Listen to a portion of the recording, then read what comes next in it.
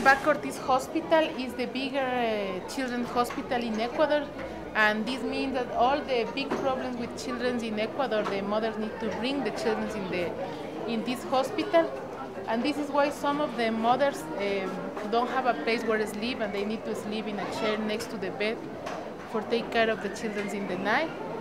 And um, this hospital uh, received the money from the government and it's a very poor hospital.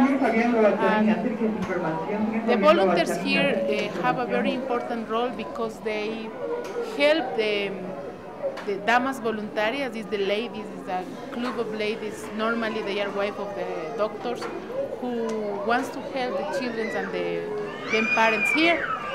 The ladies uh, visit every floor every morning and give the mothers two nappies. This is the principal role that make the, the volunteers. And another very important thing is because the mother they are so stressing with the children in the hospital for a long time, they, they when the volunteers come in, they can help the mothers having a break and they can play with the children. I, I tell the parents, okay, come to the Baca Ortiz.